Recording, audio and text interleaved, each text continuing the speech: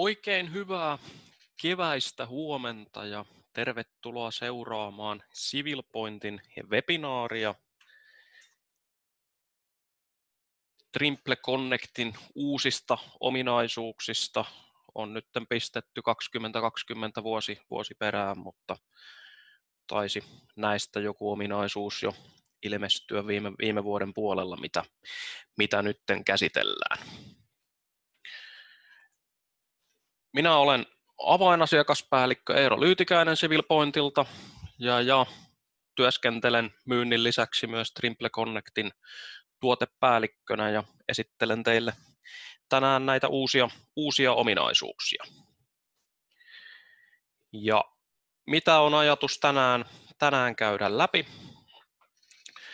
Niin, niin kuten, kuten webinaari kutsussa oli, niin katsotaan tuolta Trimple Connectin varsinaisen tuotteen puolelta uusia 3D, Web 3D-ikkunaan liittyviä työkaluja, eli organizeri, hallintatyökalua, datataulukon hyödyntämistä, sitten tietojen lisäämistä objekteille, esimerkiksi betonitietojen laatujen voidaan, voidaan lisätä yksittäisille objekteille. Ja sen lisäksi jo pidempään Connectissa ollut ominaisuus, eli tiedostojen metatiedot Connecti web-käyttöliittymän puolella. Ja sitten vilkastaa vielä tuonne CivilPoint Map Extensionin puolelle, eli, eli Map Extension on CivilPointin kehittämä karttakäyttöliittymä Trimple Connectiin, jolla Trimple Connectissa olevia aineistoja voidaan näyttää kartalle. Ja sieltä on, on vähän kehitystyötä tehty nyt poikki, poikkileikkaustyökaluun ja, ja, ja korkeustyökalu on myöskin, myöskin lisätty. Niin, niin. Tämmöiset aiheet käydään tässä aamu, aamupäivän aikana läpi ja, ja, ja, tai puolen tunnin aikana läpi ja, ja, ja kysymyksiä voi, voi esittää sinne chattiin, katsotaan niitä, niitä lopuksi ja, ja ennakkoonkin oli tullut jo pari kysymystä ilmoittautumisen yhteydessä, niin katsotaan ne myöskin tuossa lopuksi. Ja aloitetaan sieltä Connectin web 3Dn puolelta tuolla Organizer hallintatyökalulla.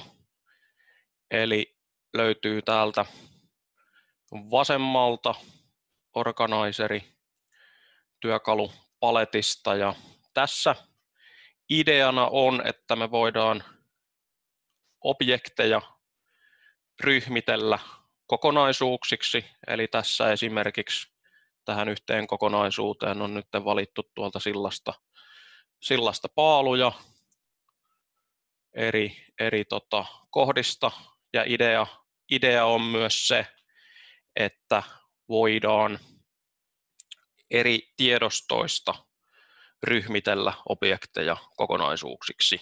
Eli jos meillä on vaikka kaksi silta IFCtä, niin sieltä voidaan molemmista silloista niin ryhmitellä paalut omiksi, omiksi kokonaisuuksia, omia kokonaisuuksia. Ja nämä kuuluu nyt paalut yläryhmään, eli täällä on sitten, sitten tota, aliryhminä nämä, nämä yksittäiset, yksittäiset paalukokonaisuudet. Ja täältä voidaan lisätä uusia, uusia ryhmiä ja, ja, mm-hmm. ja heti, heti saatiin demo-efekti aikaiseksi. Eli täältä voidaan antaa ryhmille, ryhmille nimiä. No, ei nyt uuden luonteen jostain syystä, syystä onnistu. Koitetaan tuonne valmiiseen ryhmään lisätä. Eli täältä voidaan mallista sitten valita tuolta esimerkiksi noin muutamat paalut. No, sieltä tuli vähän keilaa, keilaakin silloin keilaa mukaan, mutta täältä voidaan sitten linkittää objekteja tuohon uuteen ryhmään. Mulla on nyt hetken aikaa täällä ollut jo tuo 3D-ikkuna auki, niin mäpä päivitän, jos se auttaisi tuohon probleemaan. Eli otetaan tuolta silta, siltamalli auki, tallennettu näkymä.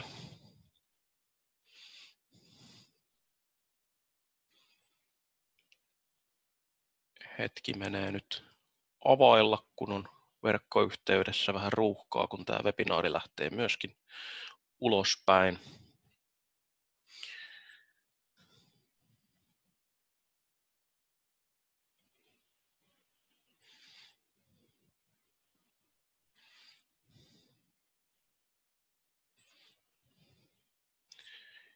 Sieltä rullailee, eli tässäkin näkymässä on kaksi, kaksi eri siltaa, siltaa, niin tosiaan voitaisiin tuolla organizerilla niin ryhmitellä tuolta eri, eri silloista niin objekteja kokonaisuuksiksi.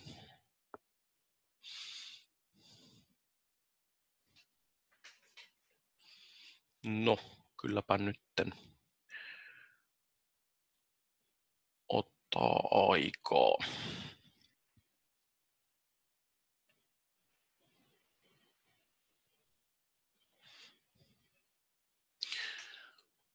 No niin, eli tosiaan koitetaan sitten, sitten uudestaan, eli uusi ryhmä ja sieltä tota, alaryhmä ja sitten alaryhmälle niin voidaan, voidaan lisäillä tuolta, tuolta tota, objekteja. Eli nyt nämä paalut tuolta on linkitetty, linkitetty tuohon, tuohon ryhmään. No, mikä sitten yksi, yksi hyöty tästä tämmöistä ryhmittelystä on, niin seuraava uusi ominaisuus on tämmöinen datataulukko. Eli voidaan tänne taulukkoon ryhmitellä ää, eri tietoja. Eli nyt esimerkiksi kun meillä on tuon organizerin avulla valittu tuolta tuo paalu, paaluryhmä, niin saadaan sieltä yksittäisten paalujen tiedot taulukkoon näkyviin, mitä meillä tuolla IFCn sisällä on.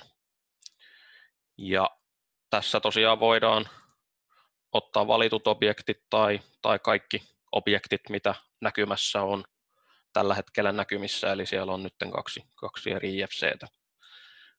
Jos otetaan ne valitut objektit takaisin, niin täällä voidaan sitten valita myös, mitä tietoja me näytetään. Eli tuolla on pilarit nimellä, niin mitä, mitä sarakkeita meillä täällä, täällä tota näkyviä, näkyy taulukossa. Eli oikealla puolella on näkyvissä olevat sarakkeet ja sitten, sitten tota vasemmalla puolella on kaikki käytössä, käytössä olevat sarakkeet. Täällä on tämmöinen betonilaadut sarake, niin otetaan se sieltä mukaan. Eli silloin se tulee, tulee tänne näkyviin ja nyt tota, paaluilla ei ole mitään betonilaatutietoa. Eli nämä, tämä betonilaadut on, on itse lisännyt tänne, tänne tota, näille paaluille tämän tyyppisen metatiedon tai, tai tämmöisen property setin, Eli tuolta kun mennään, meillä on objekteja valittuna ja mennään infoikkunan kautta, niin me voidaan täältä lisätä ominaisuuksia. Eli nyt on betonilaatu täällä, täällä tota, luotuna ja tänne voidaan sitten, sitten syöttää tietoa betonilaadusta. Eli tulee tänne taulukkoon sitten myöskin myöskin näkyviin. Eli tällä tavalla voidaan objekteille Connectin sisällä lisätä erilaista tietoa. Ja näitä, mitä, mitä tota voidaan, voidaan syöttää, niin löytyy täältä hallinnoi ominaisuuskirjastoja, eli Property Set Manager, ja siellä nyt on betoniniminen kirjasto, ja tänne voi taas sitten lisätä uusi tieto, mitä halutaan syöttää, vaikka sitten teräslaatu. Ja meillä voi tämä ominaisuus olla eri, erityyppistä, eli se voi olla tekstiä, numeroa, tai sitten meillä voi olla vetovalikkoa, mihin me syötetään valmiiksi arvoja, oikea väärä, päivämäärää, URL-osoitetta voidaan, voidaan syöttää. Ja sitten voidaan antaa myös joku oletusarvo, mikä, mikä meillä aina oletuksena tulee, tulee kun me tämmöinen teräslaatu ö, ominaisuus lisätään, lisätään tuonne objekteille.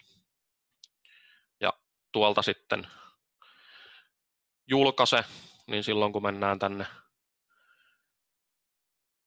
3D-näkymän puolelle, niin täältä voidaan lisätä ominaisuuksia no okei, okay, päivitys, päivitys vaadittaisiin, niin silloin tänne, tänne tulee se teräslaadut sitten, sitten tuohon betonilaatujen rinnalle.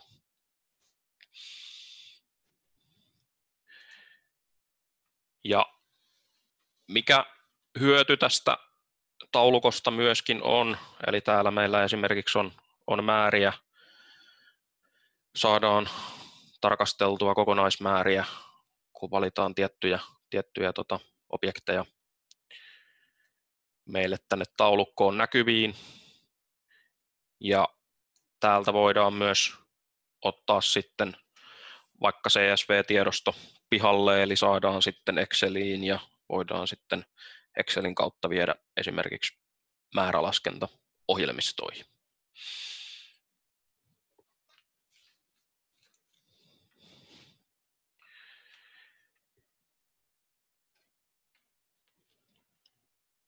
Ja nämä ominaisuudet, eli, eli tota, tämä organizeri,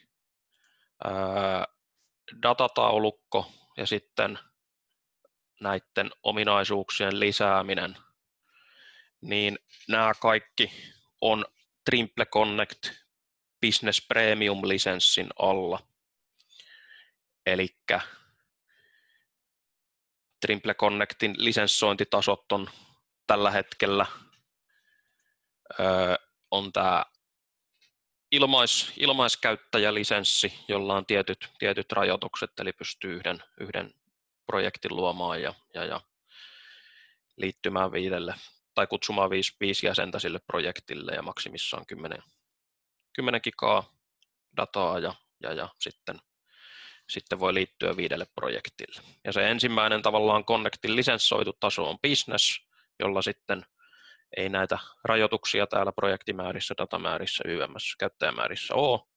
Ja sitten on tämä business premiumi, mihin sitten kuuluu nämä, nämä tota, äsken näytetyt ominaisuudet. Ja homma toimii niin, että jos näitä haluaa muokata, vaikka sitten lisätä niitä ominaisuuksia objekteille, niin tarvitaan tämä Business Premium-lisenssi, mutta sitten, sitten jonkun verran pystyy myös tällä business-lisenssillä sitten katselemaan, mitä, mitä Business Premium-lisenssillä on tehty, tehty noita lisäyksiä ja muutoksia. Ja nythän tällä hetkellä niin Connectin käyttö on, on vielä parin kuukauden ajan niin ilmasta, eli jos uusia tilejä luodaan tai uusia projekteja tehdään, niin, niin, niin on tämä business-lisenssi nyt sitten kaikilla käyttäjillä avoin. Ja sitten kun tämä määrä, määräaikaisuus loppuu, loppuu niin, niin, niin sitten kun hankkii business-lisenssin, niin sitten projektit on edelleen käytettävissä. Jos ei hankin, niin toki sitä dataa voi edelleen katsella, mitä Connectissa on, tai latailla, latailla sieltä edelleen, edelleen pois.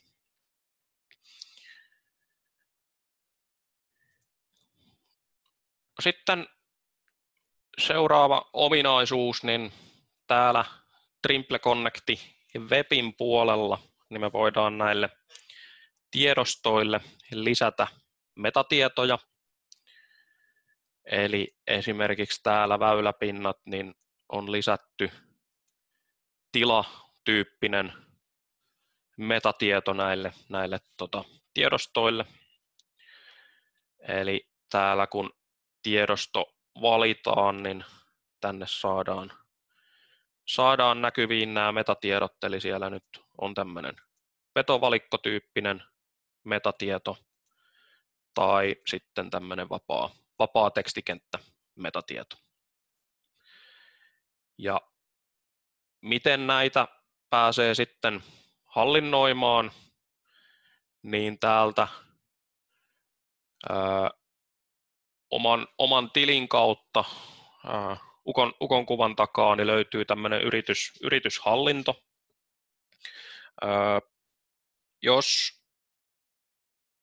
yrityksen pääkäyttäjällä ei ole tätä näkyvissä tätä yrityshallintoa, niin meidän kautta esimerkiksi voidaan sitten meidän tukipalveluiden kautta niin pyytää, pyytää tuota tuolta Trimplen suunnalta, että asettavat kyseisen henkilön, jolla on, joka on nimetty Trimple Connecti pääkäyttäjäksi organisaatiossa, niin saadaan nämä pääkäyttäjäoikeudet tänne, tänne Connectiin. Siellä ei oikein mitään, mitään selkeää logiikkaa ole, millä tavalla ne, kun on ensimmäisiä yrityksen Trimple IDitä perustettu, että millä, millä logiikalla se, se, se pääkäyttäjäoikeus siellä, siellä jollain käyttäjällä on, mutta meidän, meidän kautta niin saadaan oikeille henkilöille nämä yrityshallinto-oikeudet.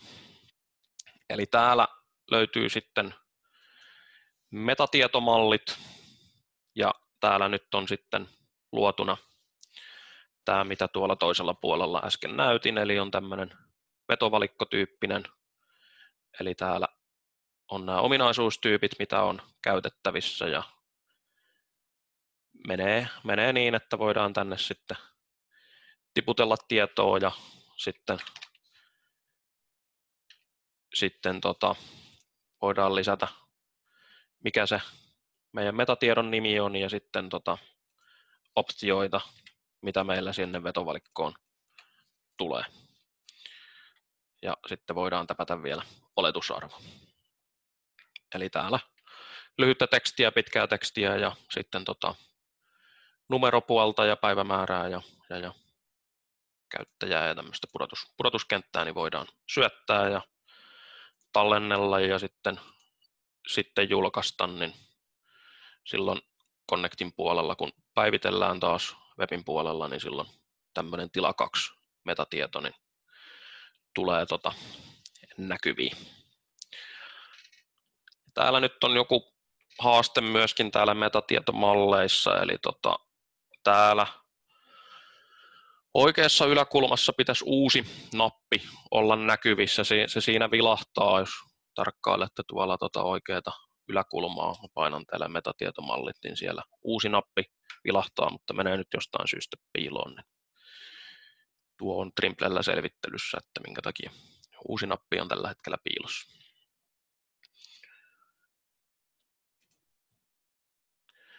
Eli takaisin projekteihin ja sieltä projektille ja otetaan tuolta väyläpinnat auki ja vaikka joku tiedosto, niin silloin tänne on nyt tullut se tila 2 vetovalikko, mikä käytiin äsken tuolla toisella puolella luomassa. Eli täältä saadaan sitten, sitten metatieto näkyviin, eli oletuksena aina on tuo tagit, tagit tuolla näkyvissä, mutta tuolta saadaan tiedostolle metatietoja. Täällä voidaan sitten suodattaa myöskin, myöskin metatietojen perusteella niin näitä tiedostoja.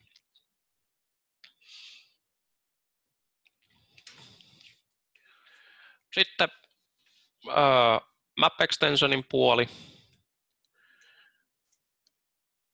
Eli täällä niin on tosiaan poikki, poikkileikkaus tehty, eli sinne saadaan tota, putket, pinnat, muut, muut näkyviin. Eli tuolta tota, vapaa, vapaa poikkileikkaus, niin, niin, niin pinnat tulee näkyviin ja putket, putket tulee näkyviin. Ja täällä voidaan sitten pintoja piilotella, miten ne on rakennettu meille tuonne malliin, niin, tai tiedostot on meillä Connectissa olemassa, niin voidaan näyttää piilotella ja se mikä on viimeisin, viimeisin niin voidaan voidaan tota skaalata akseleita, eli, eli tota, jos meillä on, on tota, tasasta pintaa, niin saadaan vähän tota korostettua meidän pintaa täällä, täällä poikkileikkauksessa. Tuolta saa vielä napit piiloa, jos ollaan vaikka puhelimen näytöllä maastossa, niin saadaan tuosta poikkileikkauksen edestä napit piiloon. Ja toinen täällä on korkeustyökalu, eli tuolta työkalujen alta löytyy, niin tällä voidaan tietystä pisteestä kysellä pintojen korkeuksia, jotka on tuohon kartalle näytetty. Eli nyt siellä on neljä, neljä pintaa näytetty, niin saadaan niiden, niiden korkeudet. Ja täällä on myös tämmöinen näytä graafityökalu. Tämä on aika tota, öö, asiakaskohtainen räätälöity ratkaisu. Eli tässä ideana on tässä graafissa, että me seurataan toteumapintoja, jos meillä vaikka viikoittain keilataan, keilataan ja muodostetaan pintamalleja niistä keilauksista, niin saadaan tänne sitten ajan yksiköllä ja korkeudella, niin saadaan katsottua, miten meillä pinnat, pinnat muuttuu. Eli on enemmän tuolla tota, vesi, vesipuolella käytössä, kun ei, ei sinne tota, vedenpinnan alle nähdä, että miten meillä pinnat siellä elää rakentamisen aikana, mutta mikään ei estä maapuolella myöskin, myöskin käyttämästä vaikka painumien seuraamiseen tai muuhun, muuhun sen tyyppiseen. Ja tosiaan tämä Map Extensioni, niin käyttöoikeus tänne Trimple IDllä, mutta Trimple ID pitää olla civil pointilla tiedossa, eli tarkoittaa käytännössä sitä, että joko Trimple Connectin lisenssit on hankittu civil pointin kautta, jolloin Map Extensionin käyttöoikeus kuuluu siihen, tai, tai sitten jos Connect-lisenssit on muuta kautta hankittu, niin meiltä voi ostaa sitten käyttöoikeuden näihin Map Extension palveluun. Ja muistuttaisin, että kun Map Extensionia haluatte lähteä käyttämään, hyödyntämään, niin se tarvii koordinaatistoasetustiedoston tuonne taustalle Trimple Connectiin, niin olkaa yhteydessä meidän, meidän tukeen, jos näyttää siltä, että esimerkiksi DVG-aineisto Connectista niin ei, ei tota, piirry sinne kartalle, tulee esimerkiksi koordinaatisto herjaa tai muuta sen tyyppistä, niin olkaa meihin yhteyksissä, niin opastellaan, miten semmoinen koordinaatistoasetustiedosto saadaan sitten aikaiseksi tuonne Connectin puolelle.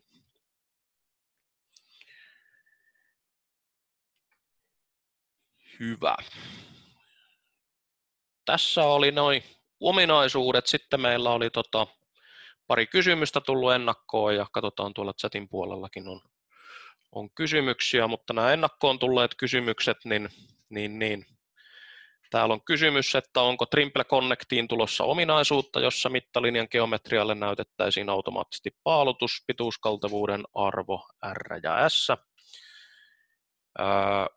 Map Extensionin puolella jo paalutus saadaan tulemaan ja, ja, ja ajatus on tänne puolelle lisäillä myös sitten noita geometria-arvoja ja sitten tonne 3D-maailmaan, niin toi 3D-näkymä, 3D Viiveri, tämä webbipuoli on, on voimakkaan kehityksen alla, niin eiköhän sinnekin jossain vaiheessa kyseiset ominaisuudet saada.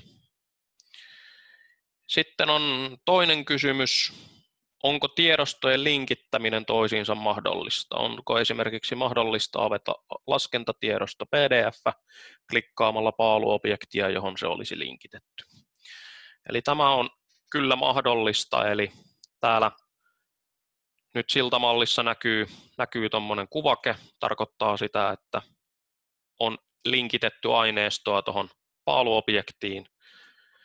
Eli täällä, täällä on yksi PDF-liite ja tarkastele Connectissa, niin se hyppää web-käyttöliittymän puolelle, mutta tarkastele uudessa ikkunassa, niin silloin avaa uuden ikkunan ja täältä sitten PDF lataillaan ja voi, voi sitä katsella. Tässä tapauksessa lähtöaineisto luettelo. Ja näitä voidaan tosiaan tänne lisätä objekteille, ottaa tuolta tuo monivalintatila pois päältä. Eli kun valitaan objekti, yksi tai useampi, niin täällä on tämmöinen klemmari lisää kliite, ja sieltä löytyy muu liitetiedostotyyppi, ja sitten täällä tota, voidaan lisätä linkki, valita mikä teksti näytetään johonkin ulkopuoliseen palveluun, tai sitten täältä Connectin sisältä niin voidaan dokumentteja lisätä, eli vaikka tämä samainen lähtöaineistoluettelo. Eli nyt se näyttää, että tuolla objekteilla on linkitetty tietoa ja sitten kun tänne paljon näitä linkityksiä tehdään, näitä kuvakkeita tulee tänne sitten ympäriinsä ja sitten kun ne rupeaa, rupeaa siellä häiritseen, häiritseen käyttöön, niin täällä ylä, ylärivillä on klemmarin kuva, mistä ne saadaan sitten näytettyä ja piilotettua. Eli siinä oli ennakkoon tulleet kysymykset ja katsotaan mistä mä saisin ton chatin näkyviin, eli tuolla.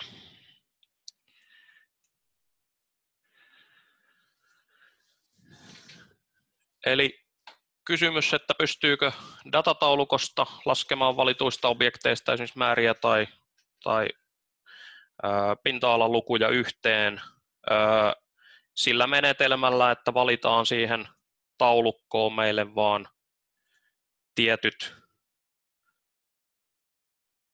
mistä objektit, mistä halutaan niitä, niitä määriä, niin silloin, silloinhan meillä nyt on vaikka viisi paalua täällä valittuna ja me saadaan yhteismääriä sitten tänne, tänne alariville.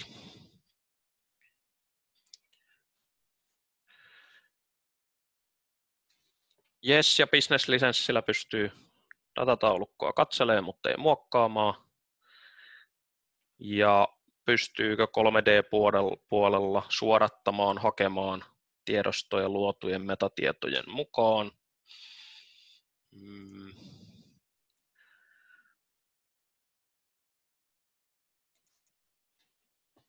Tuohon en osaa nytten, nytten vastata, niin palataan kysyjälle aiheeseen. Täytyy vähän penkoa, penkoa asiaa. Mutta hyvä, niin kello, kello alkaa lähestyä puolta ja, ja, ja aletaan päättelemään, päättelemään tota webinaaria. Niin, niin kiitoksia kaikille osallistuneille ja oikein mukavaa päivänjatkoa.